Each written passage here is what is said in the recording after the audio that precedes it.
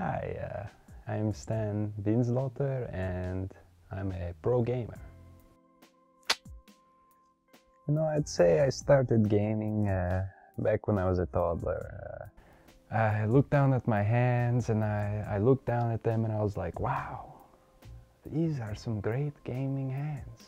And, uh, you know, I guess ever since that moment, I thought it, it was just my destiny to own the noobs, you know.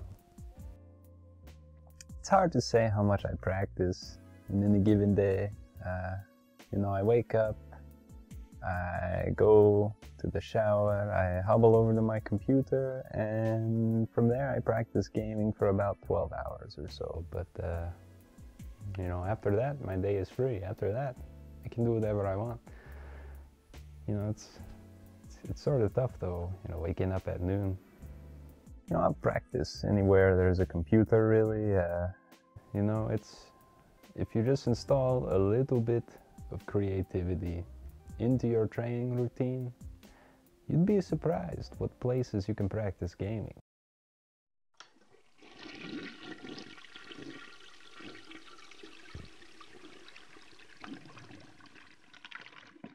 You know, I'd like to say I'm a shooter man.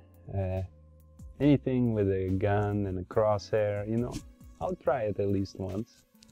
Um, that being said, there are some really bad shooters out there. There's, uh, you know, games that come out on a yearly basis that cost $60. Like, who would buy into something like that?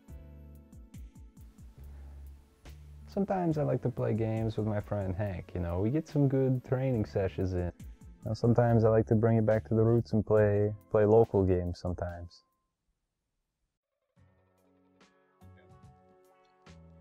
I'm Hank.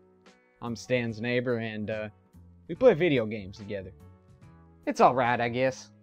He says we're having these good training sessions or something like that. I don't know who says that kind of thing. It sounds like something that would have been thrown out back in middle school or something like that. He can be a sore winner sometimes too. That's probably the worst part of it. Don't you do this to me?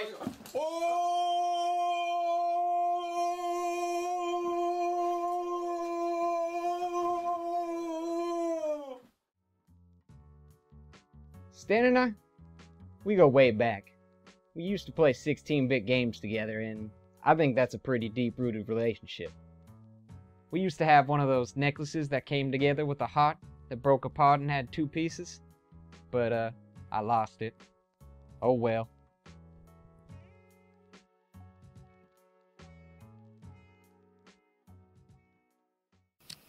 Is this thing on?